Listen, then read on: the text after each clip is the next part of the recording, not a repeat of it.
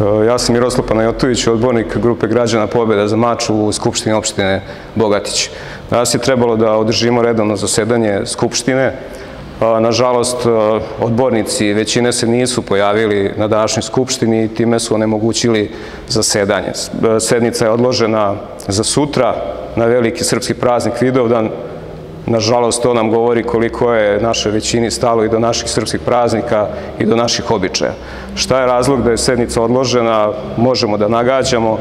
Mi smo za danas imali jako važne teme, pošto je tema iznad svih tema u Srbiji pitanje rudarenja litijuma i bora u Jadru, odnosno realizacije projekta Jadar.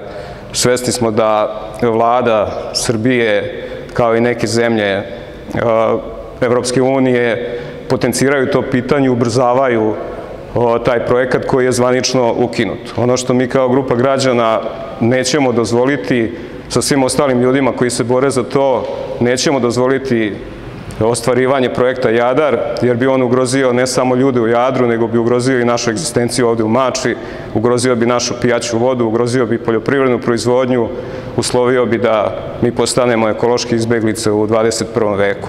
Ono što smo hteli na ovoj sednici da pokrenemo je to pitanje, hteli smo da ponudimo, da pružimo ruku odbornicima većine i da ih pozovemo da zajedno donesemo deklaraciju o zabrani rudarenja litijuma i bora, koja ta deklaracija bi nas zaštitila od tog projekta i obezbedila da opstanemo na ovim prostorima. Da li je razlog za odlaganje upravo to? Ne znamo, nadamo se da nije, ali sumnjamo. Znači, mi pružamo ruku, mi smo svi ovde predstavnici građana, svi smo položili zakletvu koja kaže da dužnost odbornika treba da obavljamo nepristrasno i u interesu građana.